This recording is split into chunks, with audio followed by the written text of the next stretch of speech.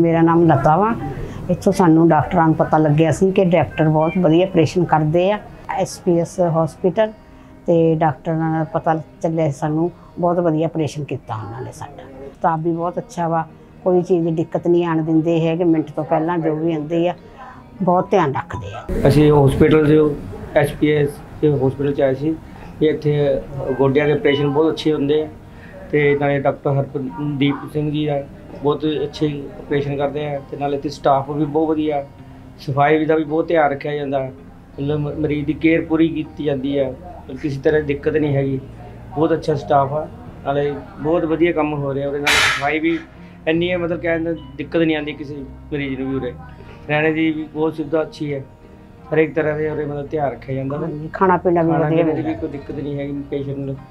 ਮਤਲਬ ਬਹੁਤ ਅੱਛਾ ਇਹ ਸਟਾਫ ਹੈ ਹਾਂਜੀ ਅੱਗੇ ਨਾਲੋਂ ਮੈਂ ਬਹੁਤ ਵਧੀਆ ਬਹੁਤ